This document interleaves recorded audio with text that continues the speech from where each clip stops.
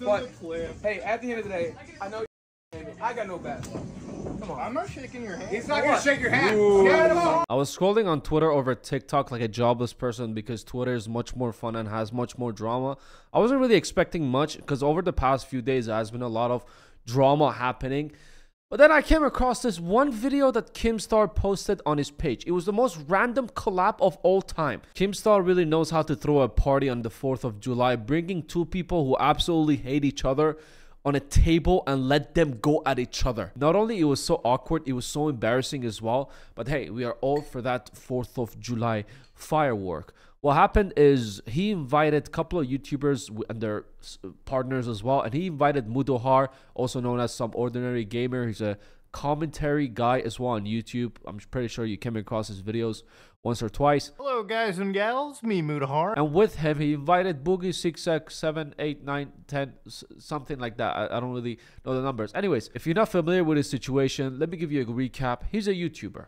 He scammed his audience with a crypto coin meme scam and played dumb afterwards when people confronted him. People like CoffeeZilla, some ordinary gamer, and MoistCr1TiKaL made videos about him on what kind of a piece of shit he is and how stupid he thinks people are. He dressed up as Down G and straight up told his community that if you want to go broke, if you want to stay a loser, go buy this coin. Ha ha. And the, the whole point of this thing was making fun of the crypto people who you know, promote crypto stuff. But it was very obvious that he was using that as a shield in case he gets caught in that scam because the launch, the coin was launched and there was a volume of $3 million in it. And Mudahar made a 30 minute video going through it piece by piece and just explaining what kind of a piece of shit he is. And this whole thing was just, he was just playing stupid the whole time because if you actually you know, don't want to scam your audience, you wouldn't actually launch the coin because the coin went up and then it just crashed down.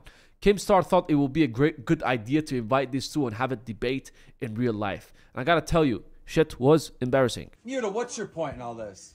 I'm just saying, why, why be a victim? Just be honest about it. Why it. be a victim? Boogie, why be a victim? Put the glove on. Be a be a victor. Boogie, why be a victim? tell the camera you wanted. Why be a victim? No, no. Just tell the camera you wanted money and you didn't care about your audience. That's it. That's Uh, fine. no, I, I wanted money and I also wanted people to not to fucking attack me, so I played the victim like a dipshit, knowing it never works Oh, because so I'm a fucking over this is piece of shit. No way, Mr. Boogie. We actually thought you didn't know about this whole scam. You actually thought you were joking about this whole thing and you weren't actually planning to scam your audience. This whole shit is like, for example, you're in an elevator with Boogie and Boogie farts in the elevator and he comes up to you. He's like, "Yo, I just want to say, I farted." No shit. We already. I already know you farted. You want to hear what it is? I reverted to my covert narcissism ways. I tried not to. I did a Caleb Hammer interview today, and I told everybody to go fuck themselves because it was funny. And I'll tell this man here, right here, go fuck yourself. It was funny. Nobody with a brain. Nobody with a brain. I'm sorry for cutting off the video too many times, but I just gotta say this. It was funny.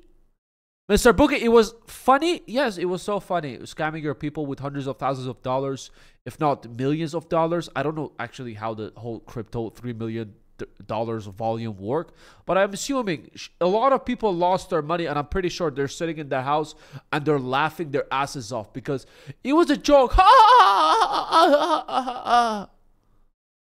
Anyways. I, I literally was like, yo, don't be a victim. Proceeds to be a victim for the next 90 seconds. No winning with it, dude. Where's the victim? Where's the victim? I'm telling you, I did an interview Just today. tell the, just said tell it the was camera you wanted fuck to you wanted to scam the audience and make money. That's it. Where's the scam? I told you not to buy it. The scam would be to tell You you, but hey, you know, I know, no. I know a scam. I've seen you promote Raid Shadow Legends. When did I promote Raid? You ever done that? Have you ever No, I don't. You just said that I promoted Raid, right? No, no, no, no, no, no, no. I know one you probably Hold on. done. Have you? Wait, let said- him you respond. said- You said I promoted Raid. Now, out of all the thousands of videos, find any Raid Shadow Legends promotion. I don't watch your In fact, content anymore. I fact, haven't one of watched it in five years. One of so my most popular videos is how I rejected a bag from Raid Shadow Legends. Okay, that's awesome. Actually, that's awesome. I didn't know that about you. Yeah, like, like this is what's crazy. He blatantly lies, and then when you Where's catch him in the lie? lie, I he's just thought you did. I'm sorry. No, no, no, no, no, no, no. Now, to be honest with you, I don't know what this whole Raid thing they were talking about is, but I'm assuming it was something that Mudahar got offered to promote a scam product or something, and Boogie here claims that Mudahar actually did accept the offer and did promote that, and he scammed his audience as well, but no, why is no one attacking him? Mudahar is a scammer. And Boogie in this situation kept on embarrassing himself, saying, "What? Where was the lie? I thought you did." You thought, yes, uh, 100%. That's a very valid reason. He clearly had no comeback to this argument. He was out of words because there was nothing he could have said about this. So he just assumed something from him that he thought he did and he just dropped it in his face. If we would have literally just looked at Mudahar and say, You're fat! Your your mustache is ugly. That would have been less embarrassing to whatever the hell he just said and j- said that. Oh yeah, I assume. Where's the lie in this? Everyone was here. Everyone was here, right? He all said I promoted it, and then I said I didn't. He's like, oh, I thought you did. I thought you did. Motherfucker, I used to think the world was flat till I thought it was round. Just say I never did on the camera. Give Ethan Klein. Well, you're a narcissist. You are the world. You're obviously round. Just give, give old Ethan the clip. Hey, at the end of the day, I know you fucking hate me. I got no bad. Come on. I'm not shaking your hand. He's not gonna shake your hand. Stand Stand him up, buddy. buddy. Stand him up. This man just got engaged. Come on, man. Put it, I'll shake his put it hand. not aside for the. If you haven't realized what exactly happened in this situation, Boogie laid on the ground, opened his mouth. Every single person uh, came over his head, shat on his mouth, and he just got up and he wanted to handshake and say thank you for that. It's it's a hard watch. It is truly a hard watch. Inside for the other thing. Bro, I don't care. I, I do. There, there's your seat. Jump across the table, Oh Boogie. no, I, I, I found a new seat. Yeah, uh huh, uh huh. Oh. Good. Oh. Yeah, scoot next to him, right next to him. I found a new seat. I'm comfortable. Aren't you? We're at a party together. We're having fun. Yeah. You want you want to make this about bullshit? We'll make it about bullshit. I'm here to have fun. I've been having fun for three days. He had to beg your ass to come. I'm his fucking friend. I flew across the goddamn country to get here. You flew or you drove?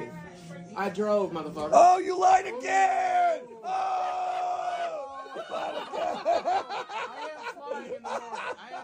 I have no idea what was Boogie thinking, agreeing to come over to Keemstar's house and have this gathering they were, they were having. Did he think by showing up there will be a chance of him saving face, trying to make peace with it? Hey guys, I just scammed people, but it was a joke. Forgive me. Handshake, handshake. If he would have sat down, looked at the wall, it would have been much, much better for his reputation. And I think the only way these two can settle their beef is to sit at that table, have an eating or a drinking contest like true gentlemen.